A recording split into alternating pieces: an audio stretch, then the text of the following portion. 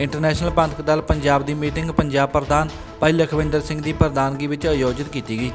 ਇਸ ਵਿੱਚ ਸੰਸਦ ਰਵਨੀਤ ਬਿੱਟੂ ਵੱਲੋਂ ਅਕਾਲ ਤਖਤ ਸਾਹਿਬ ਦੇ ਜਥੇਦਾਰ ਗਿਆਨੀ ਹਰਪ੍ਰੀਤ ਸਿੰਘ ਦੇ ਖਿਲਾਫ ਵਰਤੀ ਗਈ ਗਲਤ ਸ਼ਬਦਾਵਲੀ ਦੀ ਕੜੇ ਸ਼ਬਦਾਂ ਵਿੱਚ ਨਿੰਦਾ ਕੀਤੀ ਗਈ। ਮੀਟਿੰਗ ਉਪਰੰਤ ਪ੍ਰਧਾਨ ਲਖਵਿੰਦਰ ਸਿੰਘ ਨੇ ਕਿਹਾ ਕਿ ਸ੍ਰੀ ਅਕਾਲ ਤਖਤ ਸਾਹਿਬ ਜੀ ਦੀ ਮਾਨ ਮਰਿਆਦਾ ਅਤੇ ਉੱਥੋਂ ਦੇ ਜਥੇਦਾਰ ਸਾਹਿਬ ਦੇ ਖਿਲਾਫ ਕੀਤੀ ਗਈ ਬਿਆਨਬਾਜ਼ੀ ਸਹਿਨ ਨਹੀਂ ਕੀਤੀ ਜਾਵੇਗੀ। ਉਹਨਾਂ ਨੇ ਸਮੂਹ ਸਿੱਖ ਪੰਥ ਨੂੰ ਇੱਕ ਹੋ ਕੇ ਰਵਨੀਤ ਬਿੱਟੂ ਦੇ ਖਿਲਾਫ ਲਾਮਬੰਦ ਹੋਣ ਦੀ ਅਪੀਲ ਕੀਤੀ। ਉਹਨਾਂ ਨੇ ਕਿਹਾ ਕਿ ਬਿੱਟੂ ਝੂਠੀ ਸ਼ੌਹਰਤ ਲੈਣ ਲਈ ਸ੍ਰੀ ਅਕਾਲ ਤਖਤ ਸਾਹਿਬ ਦੇ ਜਥੇਦਾਰ ਸਿੰਘ ਸਾਹਿਬ ਗਿਆਨੀ ਹਰਪ੍ਰੀਤ ਸਿੰਘ ਪ੍ਰਤੀ ਬੇਤੁਕੀ ਬਿਆਨਬਾਜ਼ੀ ਕਰ ਰਿਹਾ। ਹੈ ਉਹਨਾਂ ਨੇ ਆਰੋਪ ਲਗਾਉਂਦੇ ਕਿਹਾ ਕਿ ਕਾਂਗਰਸ ਨੇ ਹਮੇਸ਼ਾ ਹੀ ਸ੍ਰੀ ਅਕਾਲ ਤਖਤ ਸਾਹਿਬ ਨੂੰ ਕਮਜ਼ੋਰ ਕਰਨ ਦੀਆਂ ਸਾਜ਼ਿਸ਼ਾਂ ਕੀਤੀਆਂ ਨੇ। ਉਹਨਾਂ ਨੇ ਕਿਹਾ ਕਿ ਪੂਰਬ ਮੁੱਖ ਮੰਤਰੀ ਬਿਆਨ ਸਿੰਘ ਨੇ ਪੰਜਾਬ ਦੇ ਹਜ਼ਾਰਾਂ ਨਿਰਦੋਸ਼ਾਂ ਸਿੱਖਾਂ ਨੂੰ ਘਰਾਂ ਤੋਂ ਉਠਾ ਕੇ ਕਤਲ ਕਰਵਾਇਆ ਸੀ।